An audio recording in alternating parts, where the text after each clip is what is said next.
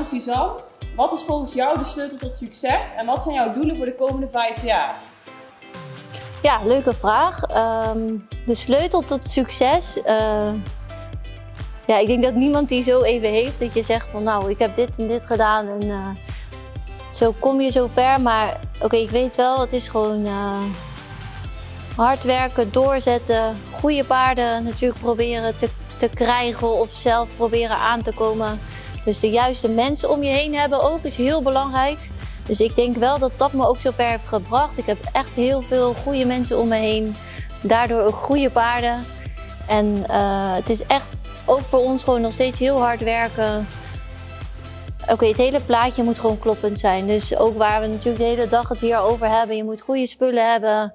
Ehm, ja, wil je ook tot goede prestaties kunnen komen. Goede begeleiding.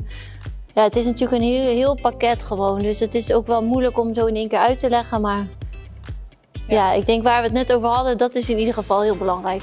Ja, en dan jouw doelen voor de komende vijf jaar? Ehm, ik moet heel eerlijk zeggen, ik ben nooit heel erg bezig met doelen stellen.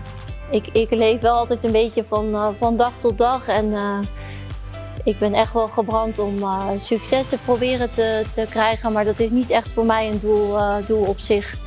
Ja. Ik denk ook wel dat dat moet juist ook ontstaan doordat je er hard voor werkt. En, en tuurlijk rij je wedstrijden en, en hoop je daar goed te presteren. Maar ja, ik vind altijd doelen stellen, vind ik zelf nooit heel prettig. Dus ik leef een beetje met de dag.